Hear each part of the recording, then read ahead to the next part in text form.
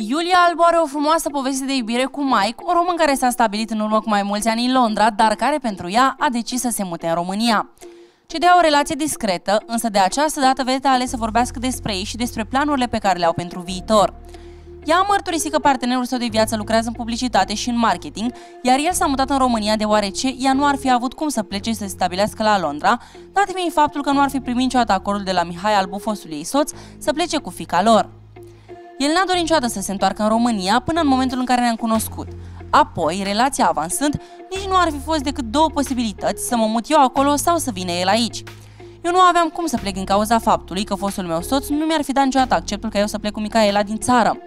În plus, aveam o carieră înfloritoare aici și eram încă studentă la a doua facultate, trebuia să-mi termin studiile.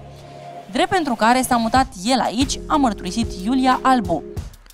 Iulia Albu și iubitul ei sunt logodiți și, bineînțeles, își fac și planuri de viitor. Cei doi își doresc să devină și părinți, dar vor să facă și nunta, chiar dacă pentru vedetă este pentru a doua oară.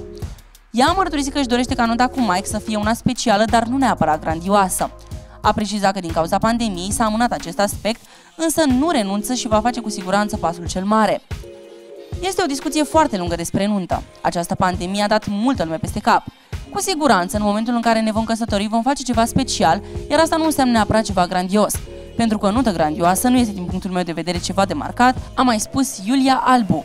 Vedeta vrea să devină și mamă din nou, iar Iulia Albu spune că a discutat cu Mike și ar vrea să aibă doi copii împreună. Nu am văzut nicio problemă nici în a face un copil la 29 de ani, cum a fost Micaela. Firește, aș dori, dacă se poate, să nu fac al doilea copil la 60 de ani, a mai precizat Vedeta TV.